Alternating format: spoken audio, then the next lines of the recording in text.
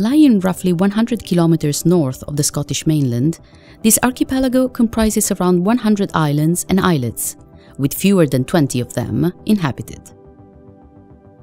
Today, we explore the Shetland Islands in the Northern Isles of Scotland. Welcome to Earth from Space.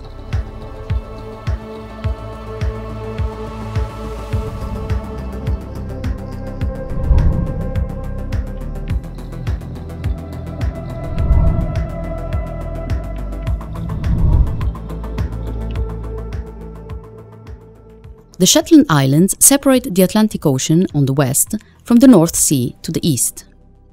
They cover an area of around 1,400 square kilometers and have a rugged coastline approximately 2,700 square kilometers long. The largest island, known as the mainland, has an area of around 900 square kilometers, making it the third largest Scottish island. The next largest are Yell, Unst and Fetlar, which lie in the north, as well as Bressay and Whalsay, which lie to the east. Lerwick, located on mainland, is the capital and largest settlement of the archipelago. The most striking feature in this week's image, captured in July 2021 by Copernicus Sentinel-2, is the vivid turquoise-colored bloom visible to the east of the islands. This type of bloom is slightly different to the harmful cyanobacteria often visible around the Baltic Sea.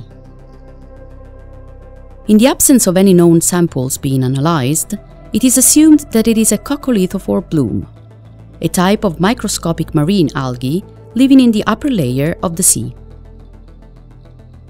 Like all phytoplankton, coccolithophores contain chlorophyll and have the tendency to multiply rapidly near the surface.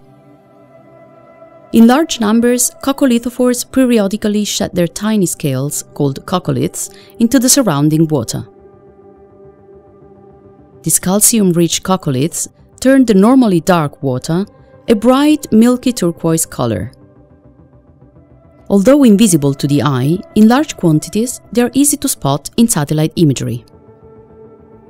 These types of algae play a huge role in the ocean uptake of atmospheric carbon dioxide as their shells sink to deeper ocean depths after they die, storing carbon in the process.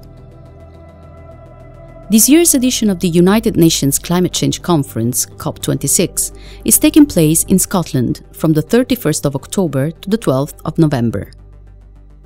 The summit aims to inspire faster and more ambitious action from the international community to achieve the goal of limiting global temperature rise to 1.5 degrees Celsius.